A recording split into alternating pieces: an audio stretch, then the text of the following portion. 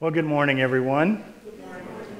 And welcome to God's house on now this third Sunday in the season of Advent. And we're so happy that you're here and that we can join all our voices in praising our Savior and our King, Jesus Christ. Today, specifically, we're going to focus on our epistle lesson. So we're going to be looking at the book of James.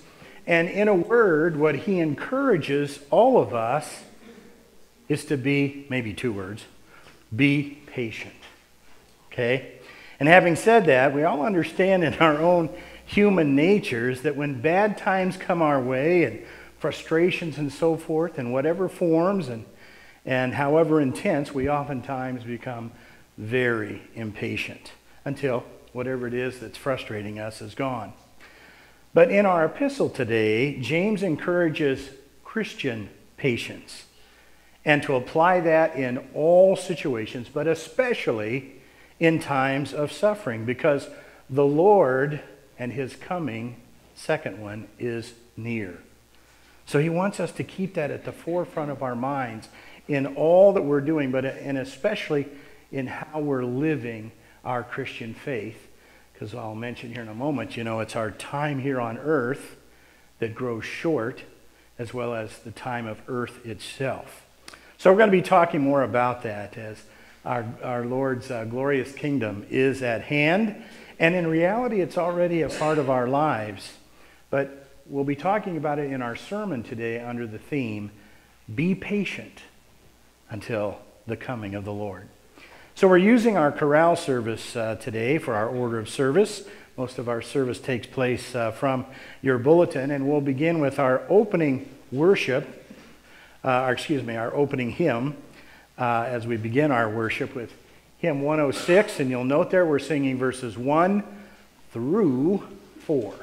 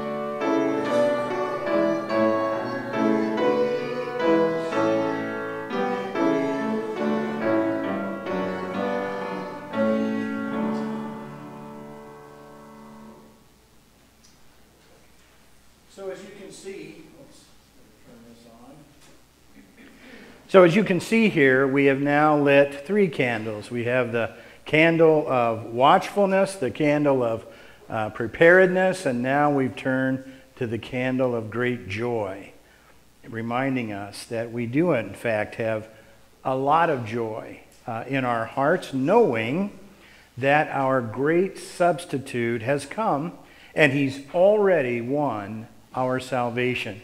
And it's that same Jesus who's coming again to ultimately wipe out sin and death and even the devil himself as he ushers in, according to his promise, a new heaven and a new earth where we're going to dwell together for eternity. And so in our Advent journey, you can see the pace now is starting to uh, quicken. You can see the sanctuary has uh, begun to change here in its appearance, and there'll be more changes coming as the celebration of his first coming draws near. But more importantly, what we're looking for is, or looking at, maybe that's the right way to say it, is his promises being fulfilled.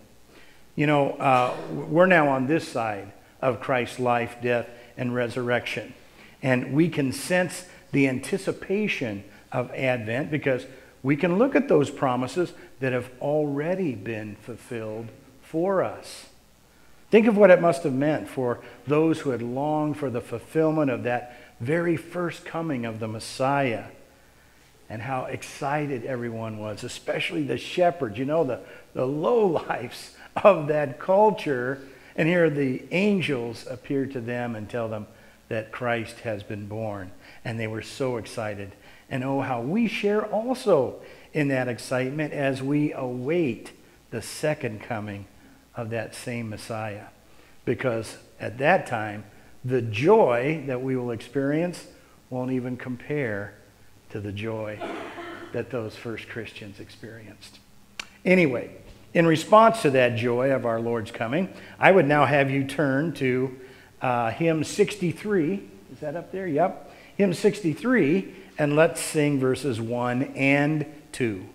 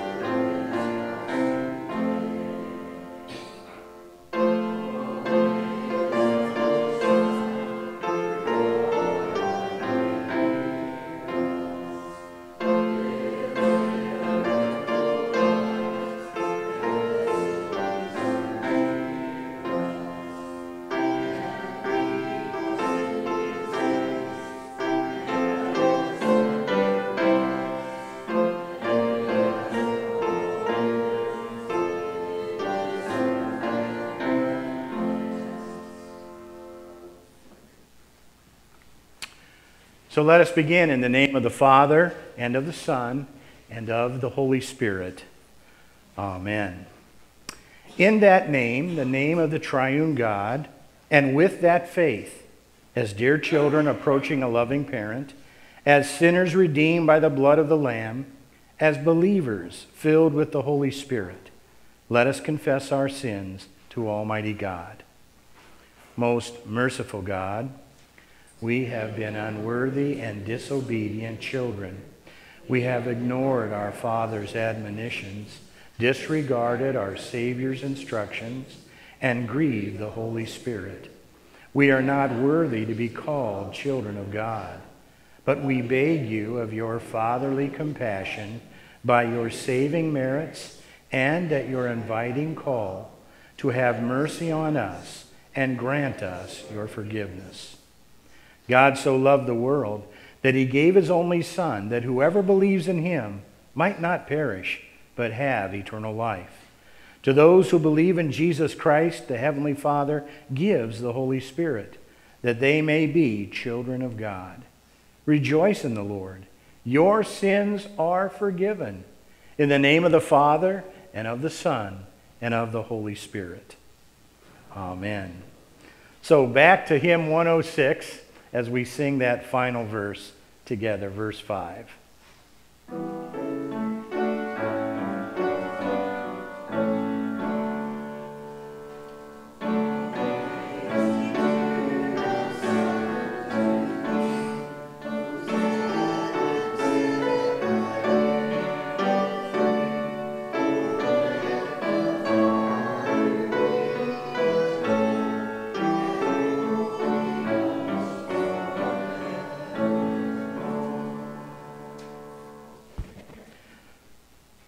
Prayer of the day, we pray this together as printed in your bulletin.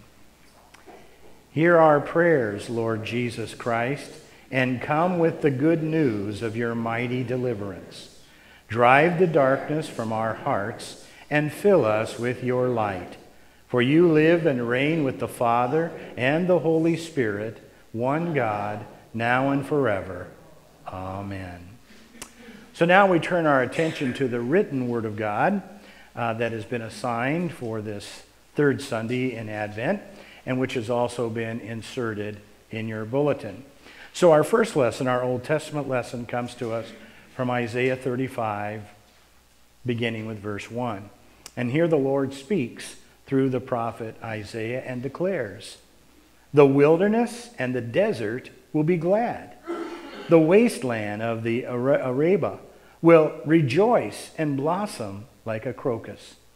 It will bloom lavishly, and there will be great joy in singing. The glory of Lebanon will be given to it. It will be excellent like Carmel and Sharon. They will see the glory of the Lord, the majesty of our God. Strengthen the weak hands and make the shaky knees steady. Tell those who have a fearful heart, be strong. Do not be afraid. Look, your God will come with vengeance. With God's own retribution, he will come and save you. Then the eyes of the blind will be opened, and the ears of the deaf will be, uh, deaf will be unplugged. The crippled will leap like a deer, and the tongue of the mute will sing for joy. Waters will flow in wilderness and streams in the wasteland. The burning sand will become a pool, and in the thirsty ground there will be springs of water. There will be grass, reeds, and rushes where the haunts of jackals once lay.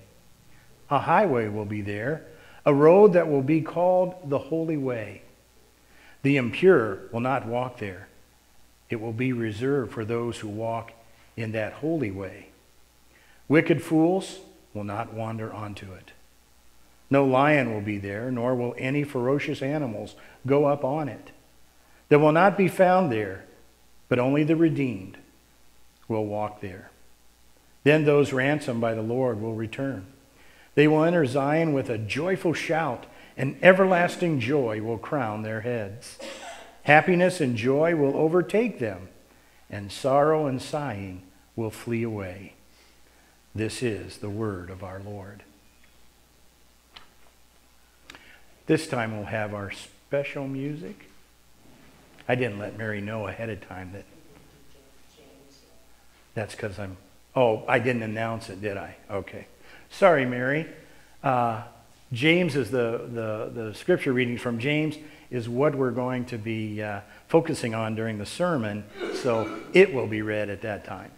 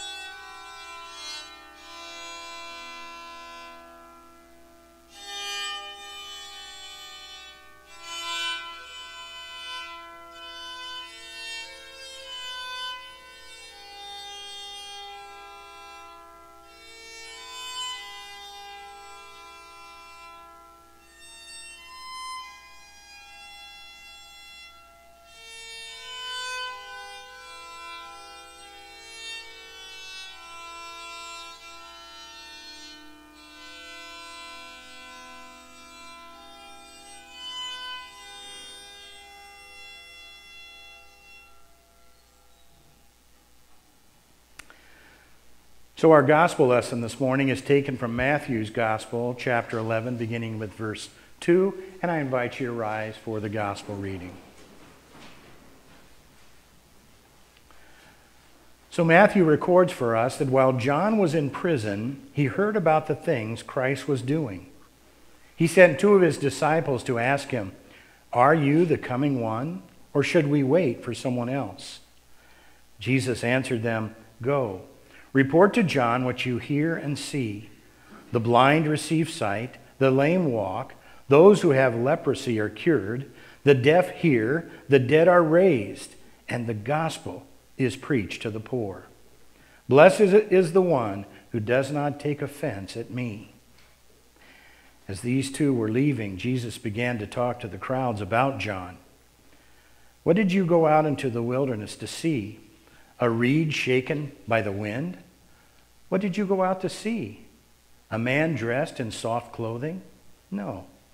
Those who wear soft clothing are in kings' houses. So what did you go out to see? A prophet? Yes, I tell you. And he is much more than a prophet. This is the one about whom it is written Look, I am sending my messenger ahead of you who will prepare your way before you. Amen, I tell you. Among those born of women, there has not appeared anyone greater than John the Baptist. Yet whoever is least in the kingdom of heaven is greater than he. This is the gospel of our risen Lord. And so let us now confess our Christian faith together, expressed through the words of the Apostles' Creed.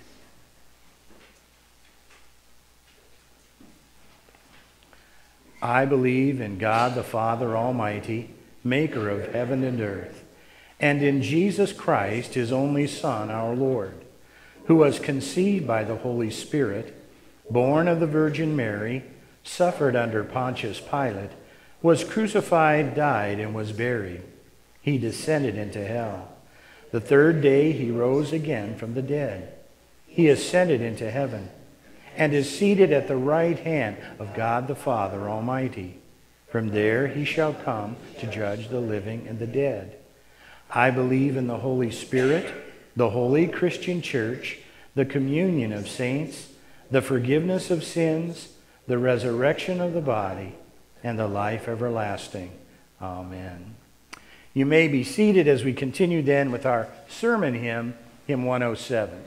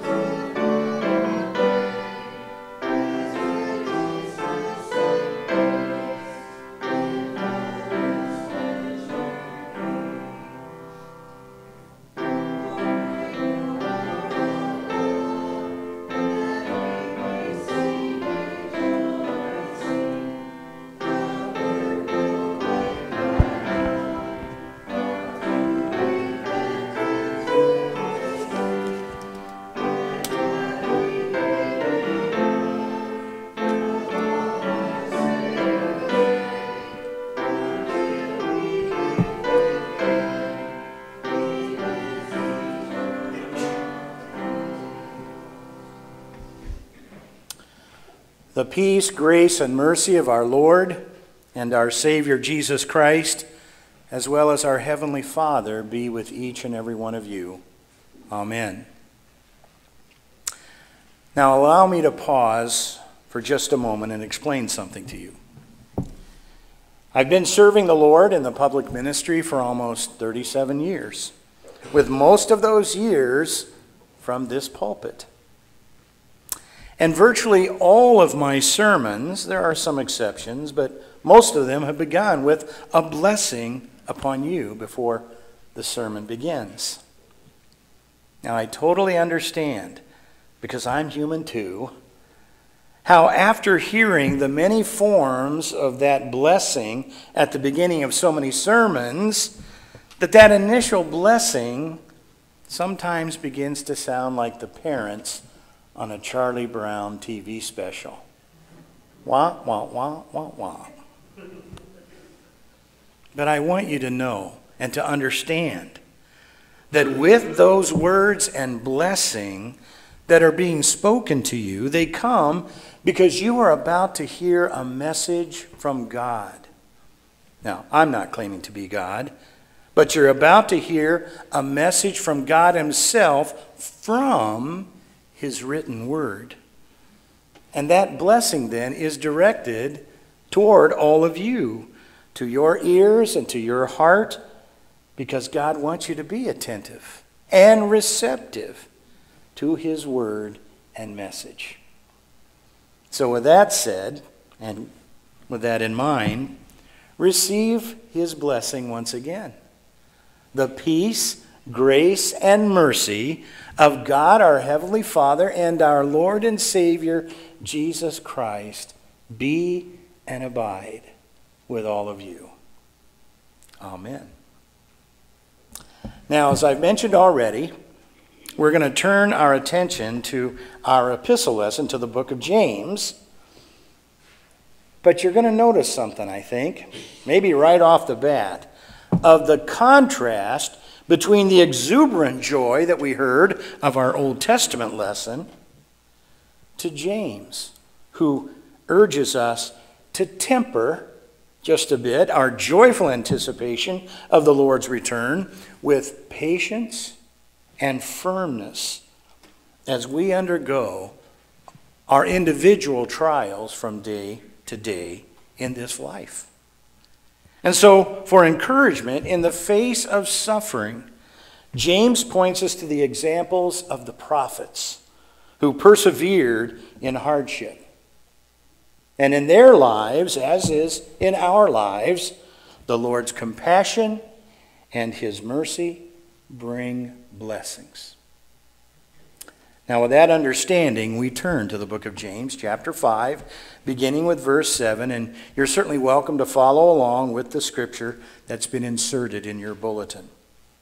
Here's what James writes He says, Therefore, brothers, be patient until the coming of the Lord.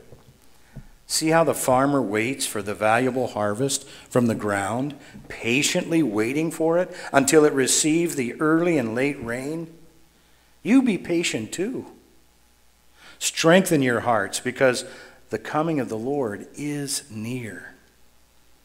Do not complain about one another, brothers, so that you will not be judged. Look, the judge is standing at the doors. Brothers, take the prophets who spoke in the name of the Lord as an example of suffering with patient endurance. See, we consider those who endured to be blessed. You have heard of the patient endurance of Job and have seen what the Lord did in the end, because the Lord is especially compassionate and merciful. Thus, our text, and we pray. Lord Jesus, thank you for your amazing love and patience. We pray that you would fill our hearts with that same love and compassion, along with a healthy dose of your patience as we await your glorious return. In your name we do pray. Amen. So, dear brothers and sisters in Christ, what is taking so long? Ever had that thought cross your mind? Or maybe those words escaping from your lips while you're waiting in a parking lot for a family member to return. They said it would just be a quick stop, take five minutes. And 20 minutes later, you're still sitting there and you're wondering, what is taking so long? I've never experienced that myself. But no, that's not true. There was that one time. I'm just kidding. And I'm guessing that you can immediately see this example and how it connects to the words that we just heard from the Apostle James. James is encouraging his own congregation to be patient as they wait for our Lord's return. And that's necessary advice because Jesus' return seems to be taking a lot longer than even the early church originally expected. Believers of our present generation also need that same encouragement. So, today, we try to take to heart as uh, the Lord strengthens us with this encouragement of James, and that, be, uh, that being, be patient until the coming of the Lord. And that involves, believe it or not, practice. Practicing patience with people and practicing patience with pain or frustrations, things going on in our lives that do not make us happy. Now, patience is one of those things that is really, really easy to encourage, but oftentimes not so easy to accomplish. Our sinful human natures gets frustrated very quickly when what we expect and what we're experiencing doesn't line up according to our timetable. And so it becomes hard for us to wait, sometimes even an extra five or ten minutes becomes hard. So, as much as our brains might want to agree with what James here is teaching, our hearts and our emotions often struggle to get in line with that teaching. So, the first thing that James points out to us, as well as to his congregation, is that we want to be sure that we don't become too short sighted in our waiting.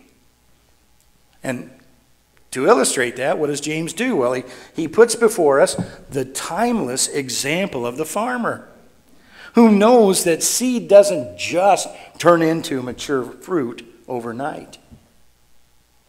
Each day, the growth and the progress, it's happening, isn't it? But all of it is largely imperceptible. And not only that, but the conditions from spring to summer to harvest, all of that must naturally progress so that the plant is able to thrive in each stage of its development. And so it is with the coming of Christ. God doesn't reveal to us the timing for us, nor does He reveal how close it is, only that it is near, and He calls upon us to be ready. He does, however, make progress toward that goal each and every day. And in that progress or process, he does allow the world to go through all of its seasons and generations so that, so that judgment day will come and it will dawn at just the right time, according to his plan. But see, dear ones, here's the key. The more we trust God's timing and progress, and the more we take that long term view, the more patient we actually become. So, what do you do when you get stuck waiting for something or somebody? Usually it helps, does it not, to find something to engage our minds in order to help the time pass. In an airport, waiting for a flight, we might play a game on our cell phones or work a, a crossword puzzle or maybe chat casually with a friend or a complete stranger.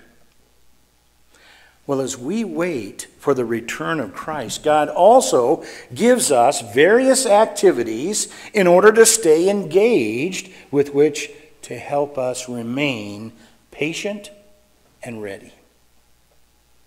To be clear, this is not simply busy work that we're talking about here. It's not like the frustrated parent who's giving a bored child who won't be quiet, won't leave them alone because they're trying to accomplish something, and they say, Here, Here's some bubble wrap. Start popping until they're all gone. now, we could make a long list of different things containing spiritual value that God gives us to spend our time on until Christ returns. However, you notice there in our text that James chooses to focus on a couple of key thoughts. The first is how we deal with other people. And the second is how we deal with pain. So you've got people and you've got pain. Both come into our lives, do they not? And so he's focusing on how we deal with those two things in our daily life and in this sinful world, I might add. Well, it's in connection with people that James reminds us not to get caught up in complaints and grumblings about one another. You might remember the apostle Paul teaching us that our speech it is to be or it is designed not to tear others down, but it's to build others up. Indeed, that's one of the blessings of our fellowshipping together. You know, after church, when we go into the fellowship hall, we have refreshments and, and, and things like that together. It helps to build us up, it helps to solidify our relationships and our fellowship, as well as that's what happens with all of our church activities. There is spiritual value in those gatherings. And we remember what Paul said to us, uh, to the Christians there in, in Ephesus, as he writes, Do not let any unwholesome talk come out of your mouths, but only what is helpful for building others up, that it may benefit those who listen. See, we all have a purpose. We all have a mission, do we not? To be Christ's ambassadors with how we live, how we conduct our lives, and with everyone that we meet. And in doing so, to build others up. And see, here's the problem. When we start to complain about another person, especially someone in our own home or in our own church families, we're really doing the exact opposite of what Paul calls upon us to do here. And we end up tearing down our connections with one another. And we're putting distance and separation between each other. James warns us today that that kind of activity is sin. And it invites the judgment of God. Why? Because he's quite serious about it.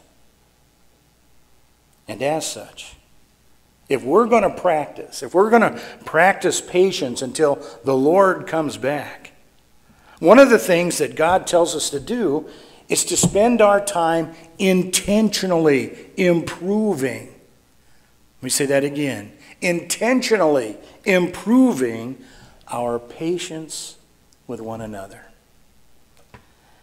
And when you think about it, that command makes a lot of sense, doesn't it? Why? Because God wants his people to be ready to enter heaven together.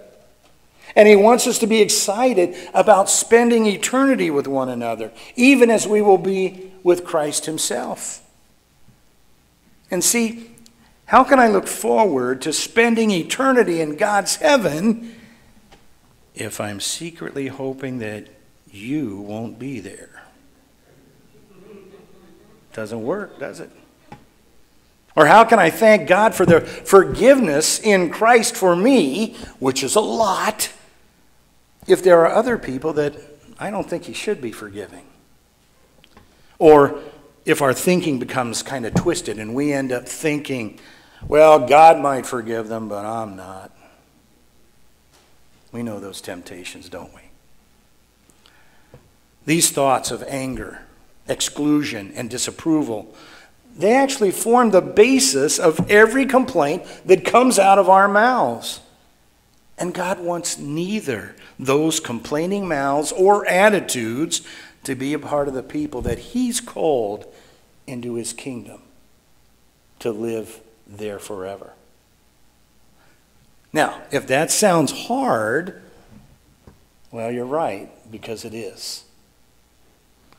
I maybe mentioned this once to you before. I was talking to a member of a former congregation one day. We were talking about patience and what God says about patience. And he came up to me afterwards and he said, Pastor, if I had any more patience, I'd be a doctor. Okay, Smitty, be a smart aleck. He's in heaven now, so he's having more fun than we are. But all kidding aside, the truth is, patience and the refusing, purposeful refusing to complain about others, that's a constant battle within all of us as we seek to live lives pleasing to God, and so, in fact, to live lives, humble lives, with thanksgiving. I say constant battle because you and I both possess a sinful nature still, along with our great enemy, Satan, who loves to feed upon our lack of patience and all of the division that that complaining about each other can bring. I'm telling you, dear ones in Christ, Satan loves it.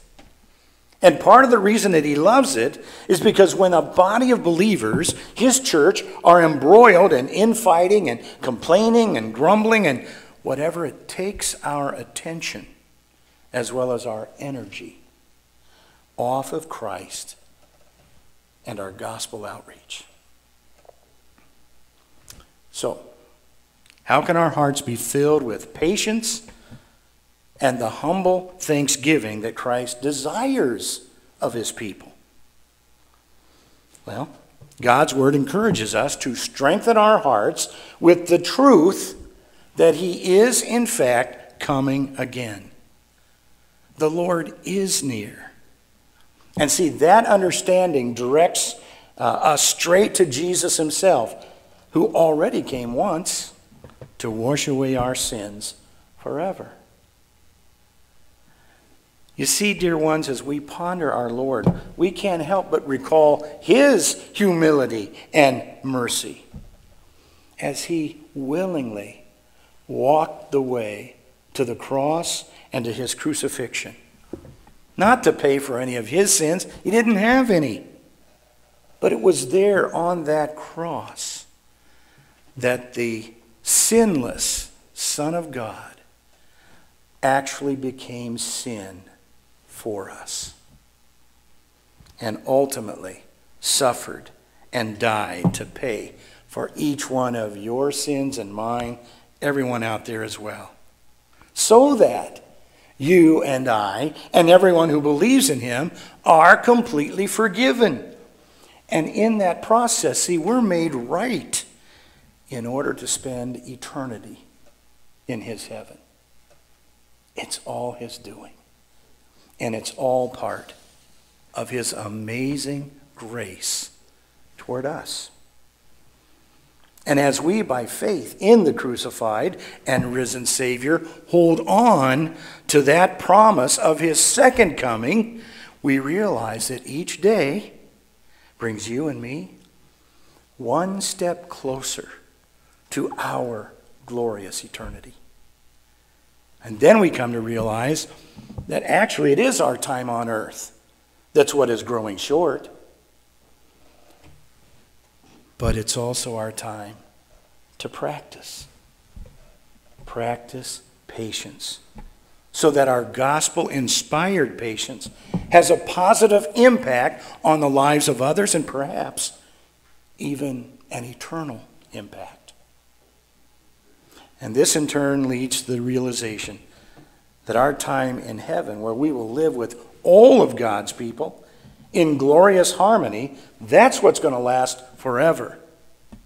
So I want, and I hope that you want to too, to begin practicing that peace and that harmony right now.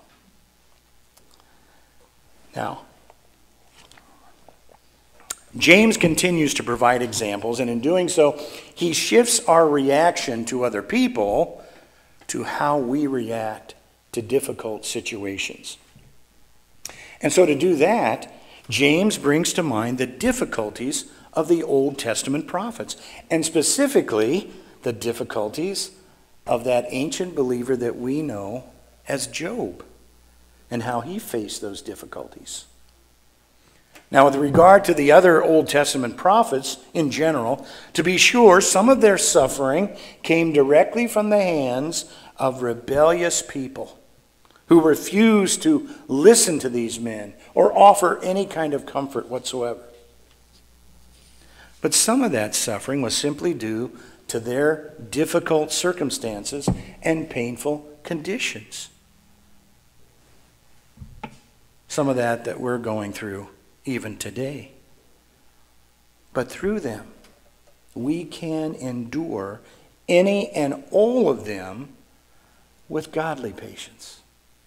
And here again, that long range view is helpful. In the case of Job, let's think about him for just a moment. You may recall that his suffering went on for many months.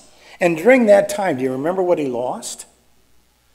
He lost his property, his family, he lost his health. And his friends, however well in, intentioned they might have wanted to be, they simply compounded his suffering by questioning Job's integrity and suggesting that, well, you know what, Job, maybe this is well deserved punishment from God because of your sins. So, how did Job endure all of that? By patiently holding on to God's amazing grace and faithfulness. Right there, smack dab in the middle of all of his suffering. Now, when I say that, I'm not claiming that all of that was easy for Job to do. I have no doubts that it was difficult because he had a, a, sinful nature just like you and me. But what made his hardships easier to bear was Job's focus. And he focused on the characteristics of God rather than on the circumstances swirling around him. Job remembered the same truth that James shares with us today in our text. And that being that the Lord is especially compassionate and merciful. That was the message that strengthened Job's heart and allowed him to practice real and God inspired patience, even when he was in pain, physically, emotionally, and in every other way. And see, here we have the advantage over Job, don't we? Because we're on this side of history. God has already shown us his mercy even more clearly in the death and the resurrection of his only Son. Jesus. And that's what James is telling us to hold on to today so that we can be patient until the coming of the Lord. Practice patience as we forgive people around us and as we persevere through our own sufferings, all the while knowing in our heart of hearts that He is coming and He has an incredible eternity in store for each and every one of us. Amen. Please rise for the blessing. And now may the peace of God, which transcends all human understanding, keep your hearts and your minds firmly planted in the risen and the coming Christ. Amen. You may be seated.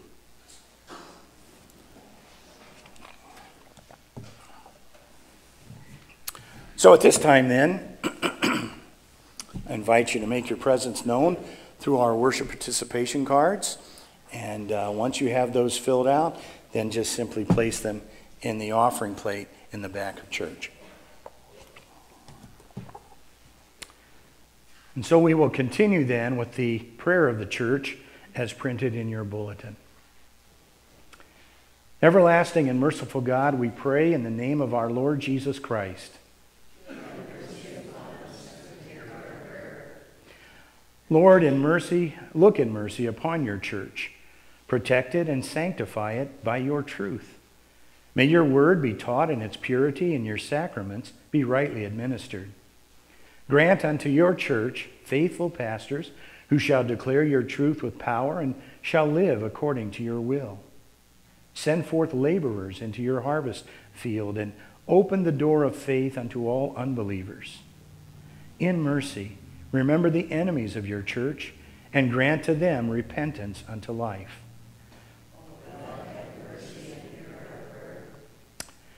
Let your protecting hand be over our country and over all who travel. Prosper what is good among us, and bring to nothing every evil counsel and purpose. Protect and bless your servants, the President of the United States, the Governor of this state, our judges, and all in authority. Fit them for their high calling by the gift of your spirit of wisdom and fear, so that we may lead a quiet and peaceable life in all godliness and reverence.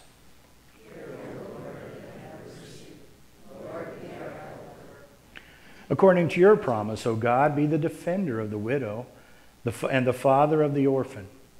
Relieve and comfort the sick and the sorrowful.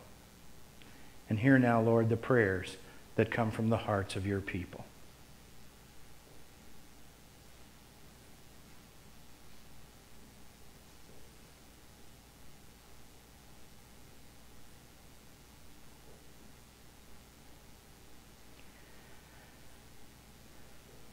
Lord, we pray that you would continue to provide your healing for your servant Kelly Mears as the pain in her head continues to disrupt her normal activities.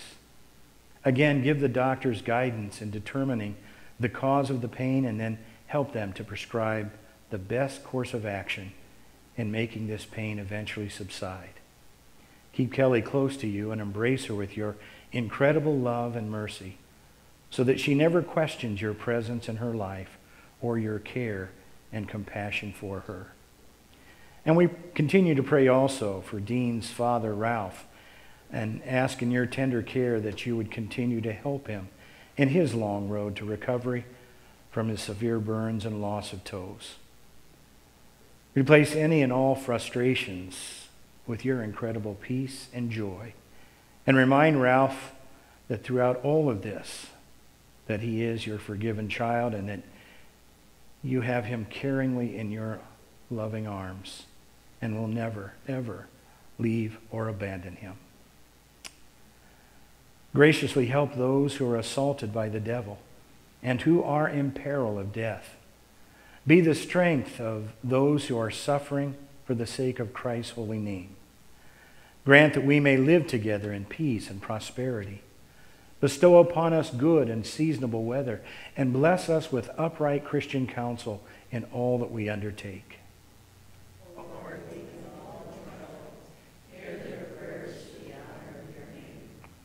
We especially commend to your care and keeping this, your congregation, which you have bought with a great price.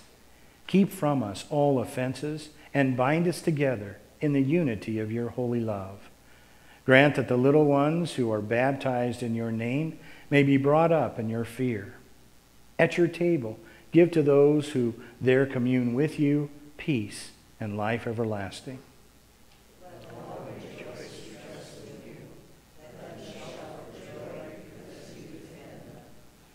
Be merciful, O God, to all according to your great love in Christ Jesus our Lord. When our blessed hour shall come, grant us a blessed departure from this world, and on the last day, a resurrection to your glory. And now we pray together as he has taught us. Our Father, who art in heaven, hallowed be thy name. Thy kingdom come, thy will be done, on earth as it is in heaven. Give us this day our daily bread and forgive us our trespasses, as we forgive those who trespass against us.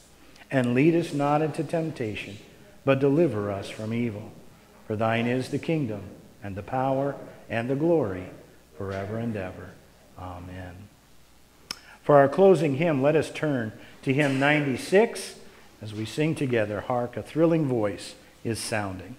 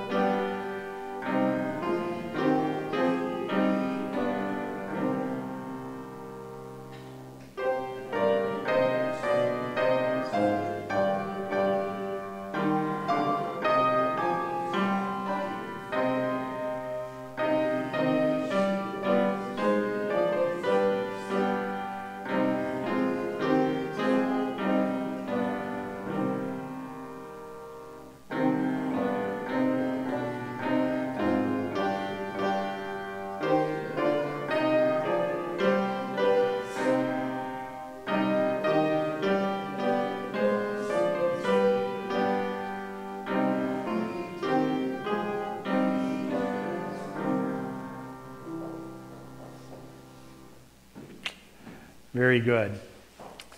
Well, thank you for joining us here again this morning. Uh, we hope that, in fact, you have been strengthened in your faith through the proclamation of God's Word, and also that you do find blessings in, and encouragement and comfort in the fellowship of fellow believers. Thank, thank you, Nancy, for providing our music for our worship today. Thank you, Mary. Sorry I didn't give you much of an introduction to come up here. But uh, uh, we appreciated that, and I think that particular song really uh, sounds beautiful on your instrument. Uh, so a big thanks to both of you uh, for blessing our worship. By way of announcements, you can see those that are listed there in your bulletin. Of course, everyone is invited uh, right after church for our fellowship coffee hour and so forth together in the fellowship hall. Also, our Dayspring Academy will be having a Christmas program here uh, uh, this Tuesday evening at 6:30, and everyone is certainly welcome to that. Thursday, we have the elders meeting at 6:30, followed by uh, the council meeting, and then uh, Linda wanted it to be sure that everyone who bid on the silent auction items should uh, uh, pick them up today, right? and yeah, pick them up. I was going to emphasize pay for them too, but that's just a given, right? Yeah, anyway. And also there's a giving tree. I noticed that most of them are gone, but on the back of in the back of church there, if you want to grab one of those things, there's various items that could be used here, and uh, that would be wonderful. I guess you just leave it at the uh, church office uh, once you bring them in. All right. And uh, there is a sign up sheet for uh, providing uh, poinsettias that we have here uh, in our uh, sanctuary, and a number of other things on that back table as well.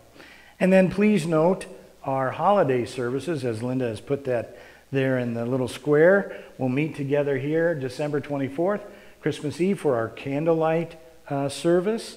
And then, um, you know, at uh, Christmas as well as New Year's Day comes on a Sunday this year.